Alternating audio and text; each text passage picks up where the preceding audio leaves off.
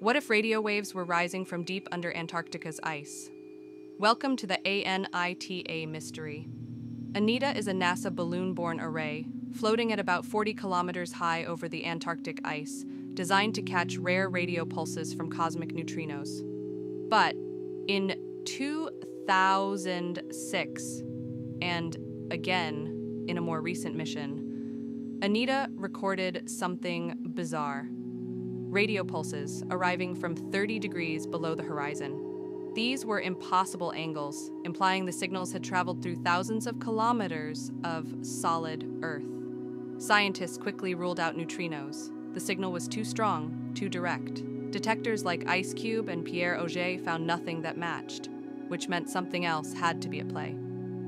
Speculations emerged. Perhaps exotic dark matter particles, strange ice propagation effects, or even an entirely new realm of physics. Astrophysicist Stephanie Wissel called it one of science's most persistent mysteries.